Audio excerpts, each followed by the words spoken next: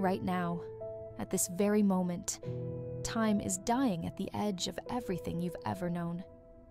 We measure time in seconds, minutes, years. We build our entire existence around it. But what if I told you that time isn't universal? That at the furthest reaches of our cosmos, time doesn't just slow down, it stops completely. Einstein discovered something terrifying. Time is relative. It bends, it stretches, it breaks. The faster you move, the slower time flows. But there's a limit, a cosmic speed limit, the speed of light. Now imagine you're standing at the edge of the observable universe, looking out into the void. Light from beyond that edge will never reach you. Not in a billion years. Not in a trillion. Never. Because the universe is expanding faster than light can travel.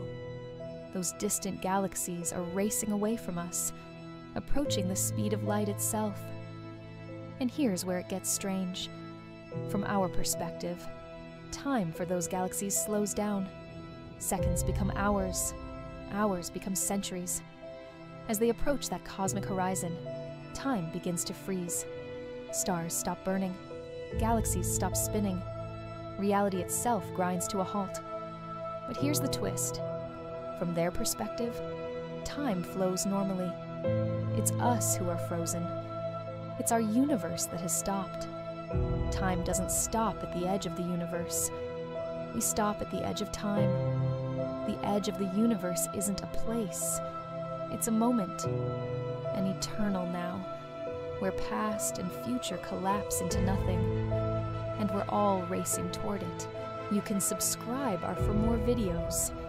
And don't forget to like the video